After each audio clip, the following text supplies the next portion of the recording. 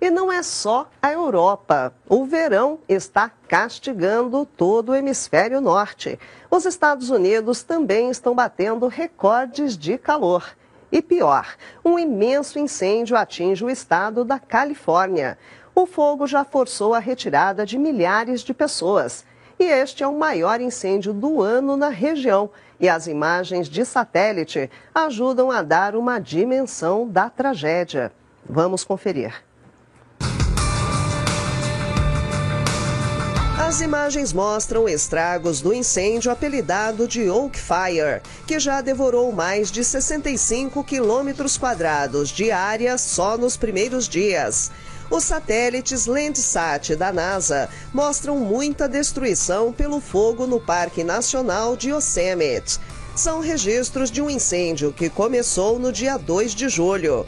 Outros satélites, como o GOES 17, também mostraram o trágico evento. Mais de 2.500 bombeiros trabalham no combate ao fogo.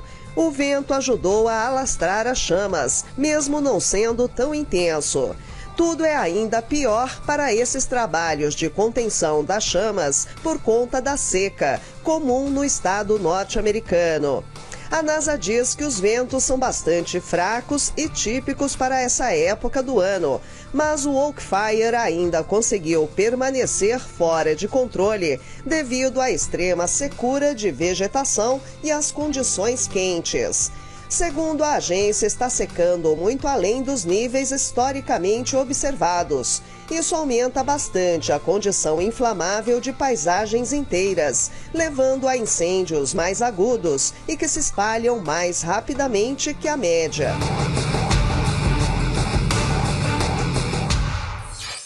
Você já ouviu falar de uma montadora alemã chamada Sono Motors?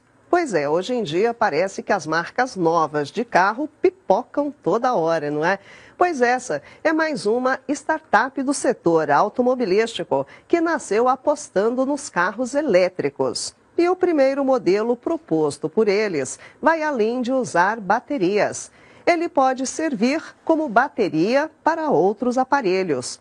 Além disso, o carro é alimentado por energia solar.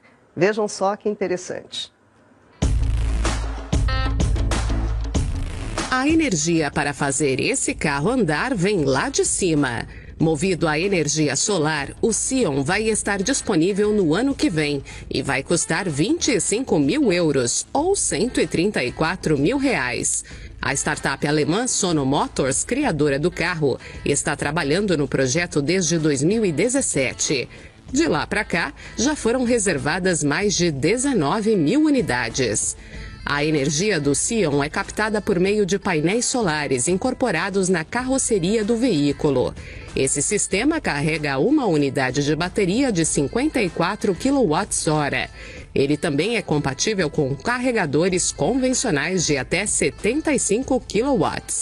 O veículo promete ser um rival para os carros elétricos mais básicos na Europa, como o Fiat 500e. Até 2030, a Sono Motors quer produzir pelo menos 257 mil unidades do Sion, que não é apenas um carro, ele também é um carregador gigante. Isso mesmo, o veículo vem com um recurso que pode alimentar dispositivos eletrônicos e até para carregar outros carros elétricos.